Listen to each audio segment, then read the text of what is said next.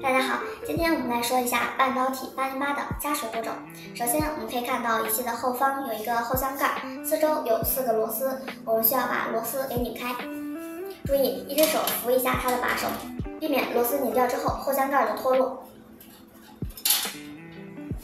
把后箱盖取下来之后，我们可以看到有一个水壶，水壶我们需要把它拧下来。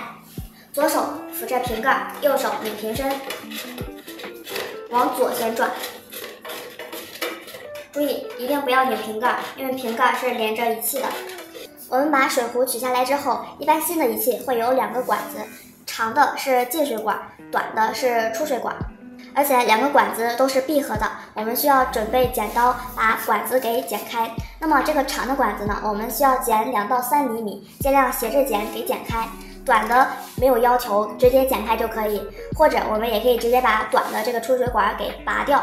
我们可以看到啊，这个里面有一个黑色的装置，在拔的时候呢，我们需要把这个黑色的装置往上推，啊，使这个黑色的装置往上推，推上去之后，我们一定是在推上去的这个过程中才可以把管子拔掉，直接拔的话是拔不下来的，这个我们需要注意。管子剪开之后，我们开始给仪器加水，在水壶里一定要加满，加到这个位置。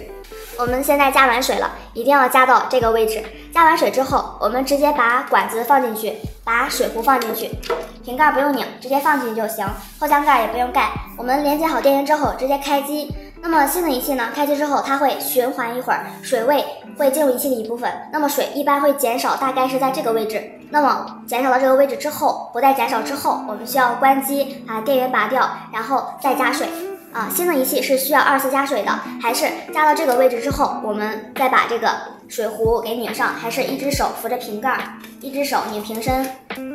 二次加水之后，我们的工作就完成了，可以把后箱盖给盖住了。那么平时我们在使用仪器的时候，这个水壶里的水是不会减少的，它不是消耗品，是循环来用的。所以说仪器对水质有要求，建议我们在夏天春夏的时候，仪器使用比较频繁，建议十五天左右去换一次水。尽量使用蒸馏水，在秋冬季的时候使用比较少的时候，我们可以十五到二十天去更换一次水。那么再次去更换水的时候，就不必像第一次加水这样，直接把里面的水全部倒掉，然后再加满就可以了。